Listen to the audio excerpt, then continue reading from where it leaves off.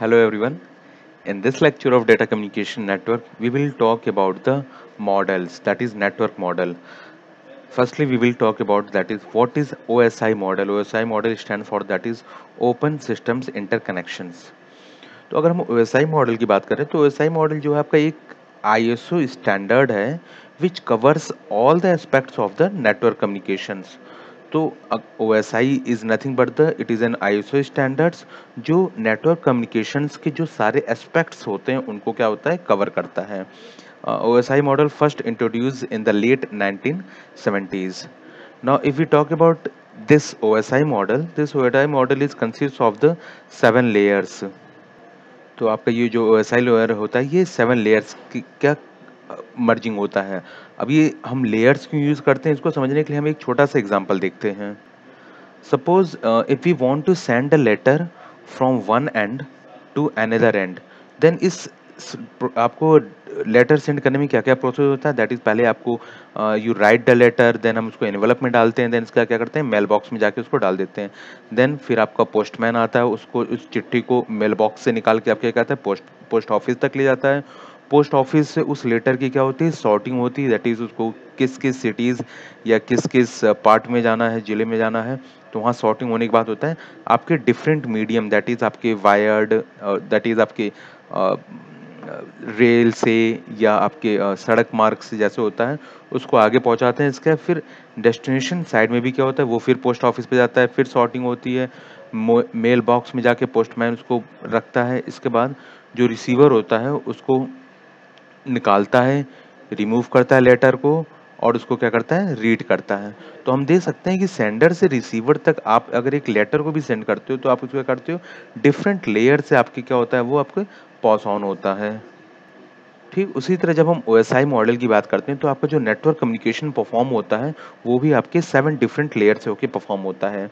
इसमें आपके जो सबसे पहला लेयर होता है दैट इज़ अगर हम बुक के अकॉर्डिंग देखो, और बुक सबसे फ़ेमस की जो बुक है आपकी data Forouzan data communication networking के लिए आपके फ्रोजन बाई फ्रोजन है तो वो is a best book for this तो देख सकते हैं कि आपके अगर बुक में देखेंगे तो सबसे पहले जो फ़र्स्ट लेयर को उसने दिया है, वो फ़िज़िकल लेयर को नंबर वन है data network transport session presentation and the application layer so they are the these seven layers which combinely form the O model ठीक है?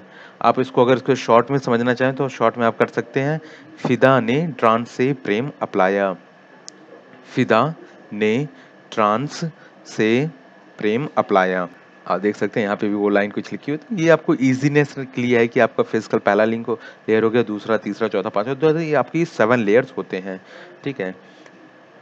तो हम कह सकते हैं कि जो आपका आई होता है it is an organization where is the O क्या होता है आपका? मॉडल होता है that is open system interconnections no will talk about the layered architecture हम अगर इस लेयर्ड आर्किटेक्चर की बात करें तो उसमें ये चीज़ डिफाइन होती है कि जब कभी भी आप किसी मैसेज को सेंड करते हो फ्रॉम ए से बी की ओर then it may pass through many intermediate nodes these intermediate nodes only involve first three layers of the O S I model तो लेयर्ड आर्किटेक्चर में बेसिक चीज़ ये आपको क्लियर करने का है कि जब भी आप किसी डेटा को एक एंड से दूसरी एंड तक आप सेंड करते हो तो जब भी आप मैसेज एक एंड से दूसरी एंड तक सोर्स टू डेस्टिनेशन तक जाता है तो उसमें जो इंटरमीडिएट नोट्स होते हैं दैट इज़ जो आपके बीच में इंटरमीडिएट नोट्स हो गए तो उनके सिर्फ़ थ्री लेयर्स जो होते हैं कवर होते हैं, ठीक है? सोर्स और डेस्टिनेशन के सातों लेवर कवर होते हैं बट जो इंटरमीडिएट के होते हैं, उसमें आपके सिर्फ़ जो होते हैं थ्री लेवर्स ही ओएसआई मॉडल के कवर होते हैं। ना अगर इस लेयर्ड आर्किटेक्चर में, जैसे हमने पहले कहा कि आपके सिर्फ़ इंटरमीडिएट के थ्री लेयर्स यूज़ होते हैं, उसी तरह अगर हम किसी सिंगल मशीन में बात करते हैं, किसी सिंगल मशीन में अगर आपकी जो लेयर्स होती हैं तो हमेशा जो अपर लेयर होती है that is upper layers uses the services of the just below it इसका मतलब अगर आप एप्लीकेशन लेयर से कोई भी डेटा प्रेजेंटेशन लेयर की ओर आ रहा है तो प्रेजेंटेशन लेयर क्या कर रहा है? एप्लीकेशन लेयर की जो होता है, वो सर्विसेज़ को यूज़ कर रहा है। वहीं हम सेशन लेयर की बात करें तो सेशन लेयर क्या है? प्रेजेंटेशन लेयर की सर्विसेज़ को यूज़ कर रहा है। तो हर एक लेयर जो होते हैं, अपने ऊपर से लेयर्स के सेंडर साइड में ऊपर से लेयर के जो होते हैं, उनके सर्विसेज़ को क्या करते हैं? यूज़ करते हैं। तो ये आपके लेयर्ड आर्किटेक्चर में नेक्स्ट पॉइंट हो गया। तो आप देख सकते हैं here is an example that is आपके जो लेयर्स हैं दैट इज़ अगर हम बात करें रिसीवर साइड में तो अगर रिसीवर साइड में आपका लेयर थ्री जो है, वो किसके सर्विसेज़ को यूज़ करेगा? आपके लेयर टू की सर्विसेज़ को। वहीं आपके जो डिफरेंट लेयर्स हैं, आपके इसी तरह सर्विसेज़ को यूज़ करते आते हैं। तो लेयर थ्री जो हो गया लेयर टू के सर्विसेज़ को यूज़ कर रहा है, और लेयर फोर जो होगा, आपके लेयर थ्री के सर्विसेज़ को यूज़ करेगा। Now we talk about the process on each machine that communicate at a given layer are called peer to peer process. जैसे आपका अगर हम बात करें पीछे जाके अगर हम देखें तो अगर एप्लीकेशन लेयर आपका सेंडर साइड में उसी तरह एप्लीकेशन लेयर आपका अगर रिसीवर साइड में है। दैट इज़ अगर हम इस फिगर में देखें तो आप देख सकते हैं जो एप्लीकेशन लेयर जो सेंडर साइड में है, वो रिसीवर साइड में क्या करता है? उसी एप्लीकेशन लेयर के सर्विसेज़ को वो क्या करता है? उन्हीं प्रोटोकॉल्स को यूज़ करता है। उसी तरह हम देखते हैं ट्रांसपोर्ट लेयर जो सेंडर साइड में है, वो रिसीवर साइड के ट्रांसपोर्ट लेयर से आपका क्या करता है? कम्युनिकेट करता है। तो इस तरह के प्रोसेस को हम करते हैं। That is when one layer is communicate with the other with the same layer at the different side it is defined as the peer to peer protocol और पीर टू पीर प्रोसेस का। तो पीर to पीर का अगर हम example देखें that is अगर layer X एक machine पे जो है, वो कम्युनिकेट करेगा layer X on the another machine that is अगर नेटवर्क आपके सेंडर साइड में नेटवर्क लेयर है तो रिसीवर साइड में नेटवर्क लेयर से आपस में क्या करता है? कम्युनिकेट करता है। So this types of process when one layer communicate with the other layer on same on different machine so such types of process defined as the peer to peer process. Now अगर हम layered architecture में एक last point की हम बात करते हैं तो लास्ट पॉइंट में ये बताता है कि अगर एवब दैट इज़ कोई लेयर एक लेयर ने आपके मैसेज को ट्रांसमिट किया है नीचे की ओर तो जो नेक्स्ट लेयर होता है, उसमें अपनी इन्फॉर्मेशन को क्या करता है एम्बेड करके नीचे और आगे की ओर ट्रांसमिट कर देता है। दैट इज़ आप देख सकते हैं कि each layer in sending device adds in own information अपनी इन्फॉर्मेशन को वो ऐड करके मैसेज को वो आगे की ओर नेक्स्ट लेयर की ओर क्या करता है? ट्रांसमिट कर देता है। और ये जो पूरा पैकेट होता है, पूरा पूरा पैकेट जो होता है, वो नेक्स्ट लेयर की ओर आपका पास हो तो इस लास्ट पॉइंट में भी हम देख सकते हैं कि जब भी कोई आपकी लेयर किसी मैसेज को रिसीव करती है फ्रॉम अपर लेयर से तो उसमें क्या करती है, अपनी इन्फॉर्मेशन को एम्बेड करके वो नेक्स्ट लेयर की ओर क्या करती है, उसको ट्रांसमिट कर देती है। तो these are the few basic point that you need to be remembered in the layered architecture तो एक बार इसको जल्दी से रिवाइज कर लेते हैं कि आपके इसमें ये पॉइंट्स हैं क्या। तो सबसे पहले आपने देखा कि आपके seven layers O S I model होता है that is one two three four five six seven में physical data network transport session presentation and application that is फिदा नेटवर्क से प्रेम अप्लाया।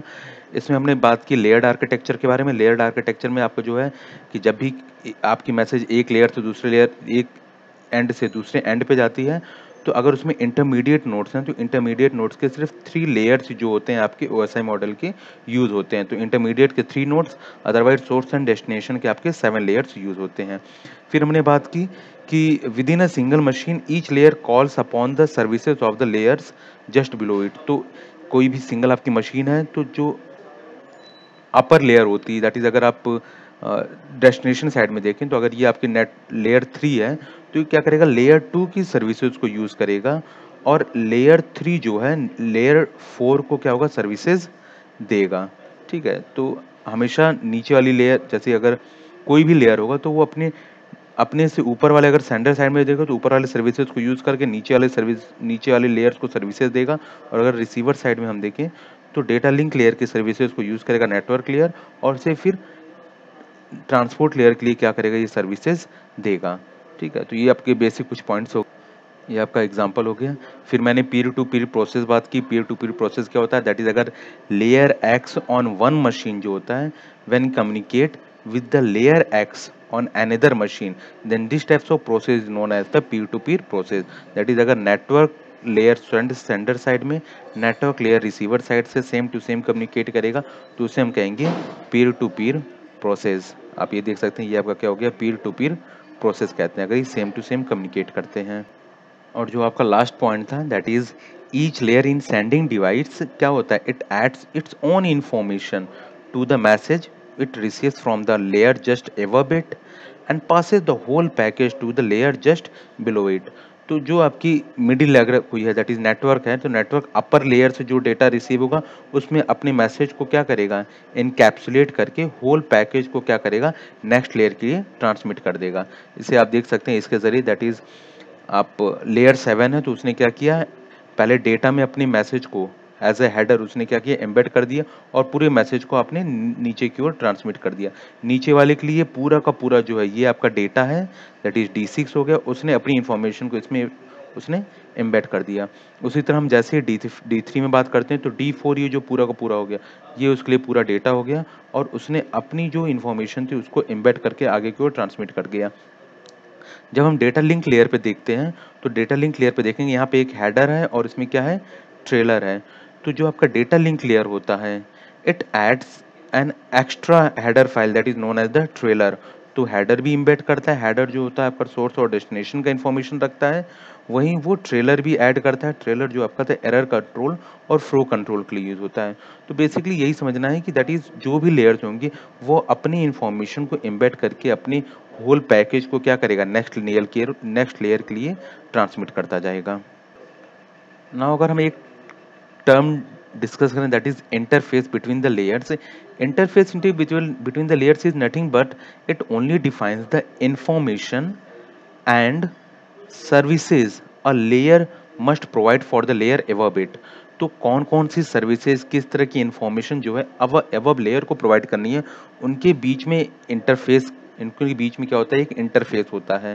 दैट इज़ अगर आप देखें फिगर में, आप देख सकते हैं यहाँ पे that is data link layer को कौन सी इन्फॉर्मेशन ट्रांसमिट होनी है और कैसे सर्विसेज़ इसको प्रोवाइड करनी है, उसके लिए जो इनके बीच में इंटरफेस होगा, क्या हो गया वो टू वन इंटरफेस हो गया। उसी थ्री और टू के बीच में जो इंटरफेस है, वो थ्री टू इंटरफेस हो गया। तो अगर इंटरफेस की बात करें सिंपल सा, अगर आपके घर में बिजली आ रही है, आप अपने मोबाइल को चार्ज करना चाहते हो तो बिजली जो आ रही है और चार्जर के बीच में जो प्लग होता है, वो आपका क्या होता है? इंटरफेस का काम करता है। Now we talk about the organization of layers organization of layers क्या होता है कि जो आपके जो सेवन लेयर्स हैं, उन सेवन लेयर्स को क्या करते हैं? दो ग्रुप में क्लासीफाई कर देते हैं। तो दो ग्रुप्स का अपना एक काम होता है, उसे ही हम कहते हैं ऑर्गेनाइजेशन ऑफ़ लेयर्स अगर हम बात करें दैट इज़ आप पहला ग्रुप होता है that is network support layer network support layer क्या होता है? जो आपका नेटवर्क सपोर्ट लेयर होता है, ये आपके जो लोअर थ्री लेयर्स होते हैं दैट इज़ नेटवर्क, डेटा और फ़िज़िकल, इन तीनों को कंबाइन हम कहते तीनों को कंबाइनली अगर हम कहें तो ये एक ग्रुप फॉर्म का होता है, जिसे हम कहते हैं नेटवर्क सपोर्ट लेयर्स और अगर हम एवब थ्री लेयर्स के बारे में बात करें तो जो upper three layer that application presentation और सेशन लेयर होता है, ये कंबाइंडली फॉर्म करता है यूज़र सपोर्ट लेयर तो आप देख सकते हैं, आपका जो ओ को जो सेवन लेयर्स होता है, इसको आप दो ग्रुप में इजिली डिवाइड कर सकते हैं that is user support layer and the network support layers और यूज़र सपोर्ट लेयर और नेटवर्क सपोर्ट लेयर के बीच में जो इंटरफेस का काम करता है, वो होता है आपका ट्रांसपोर्ट लेयर की दैट इज़ किस तरह की सर्विसेज़ या किस तरह की इन्फॉर्मेशन इन दोनों के बीच में कम्युनिकेट करनी है, उसका जो काम होता है वो आपका ट्रांसपोर्ट लेयर करता है। तो जो दो ग्रुप में हमने डिवाइड किया that is network support layer तो नाम सीख लिया है दैट इज़ नेटवर्क को सपोर्ट करता है। दैट इज़ किस तरह के फ़िज़िकल एस्पेक्ट्स आपके डेटा को मूव करने के लिए यूज़ होंगे, उस पूरी क्राइटेरिया को डिफाइन करने के लिए जो आपका ग्रुप हो गया, वो हो गया आपका network support layer that is which types of physical aspects required for moving data from one end to another end it would be it would be defined by the network support layer whereas the user support layer जो आपका होता है it allow the